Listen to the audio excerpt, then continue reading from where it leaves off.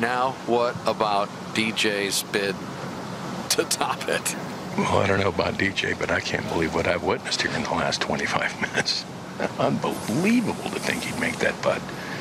Now, this is somewhat similar, different angle, but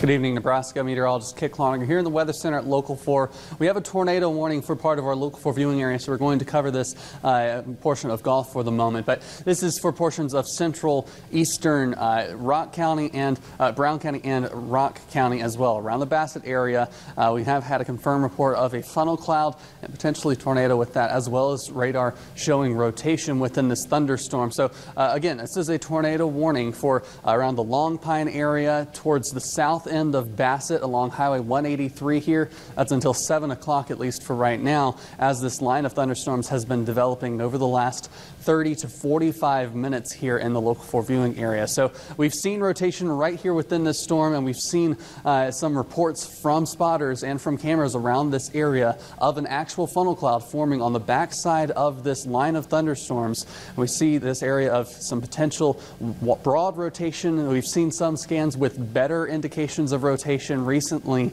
um, but it has sort of weakened in the last several scans here. But if you are in the Long Pine area, if you're around Bassett, anywhere south of there in this area of Rock County. This is central and western Rock County. You need to be taking shelter immediately um, at the lowest level of your home as a tornado. Even uh, radar indicated or just a funnel cloud could still produce a tornado that could drop down and still cause damage. So if you do live in this area or if you know anyone in this area, make sure that they are uh, paying attention to the local weather right now. Again, tornado warning until 7 o'clock p.m. this evening uh, for around the Long Pine area in Brown County and Bassett area in Rock County as well. This line of thunderstorms is going to continue to develop, and I'll step off to the side here so that we can see uh, just a little bit of more of a broad view of this system here. Uh, we're going to continue to see thunderstorms developing along this line with that isolated tornado threat as well as uh, hail up to two inches possible throughout the afternoon. So we will have to monitor that this afternoon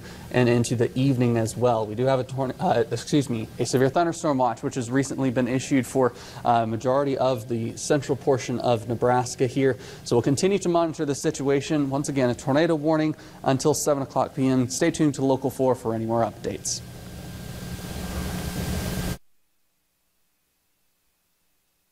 To get yourself in this position in the first place? Well, it seems like it was so